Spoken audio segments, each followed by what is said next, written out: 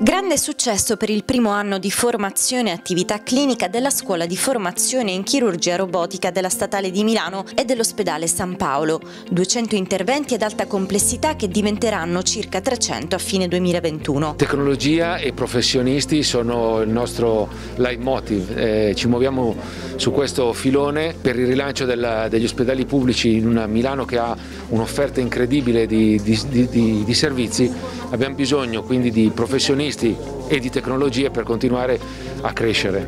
La scuola è partita, è partita bene sia dal punto di vista della formazione che è quello che ovviamente interessa maggiormente la componente universitaria, quindi didattica e formazione, ma anche per quello che riguarda l'attività assistenziale perché sono stati realizzati molti molti interventi. L'offerta formativa per il nuovo anno accademico sarà allargata agli studenti del corso di laurea in medicina con corsi professionalizzanti, internati e seminari dedicati. E sono 50 gli specializzandi che con diverse modalità potranno accedere alla scuola di formazione, oltre ai discenti provenienti da università di altre regioni italiane ed europee. 2021-22 è l'anno della ripartenza la parte clinica è già ampiamente ripartita perché ormai stiamo operando a pieno ritmo e invece partirà anche la parte didattica, soprattutto per gli studenti dell'università che nell'anno precedente non hanno potuto venire in ospedale e quindi hanno perso quella parte professionalizzante che è una parte importantissima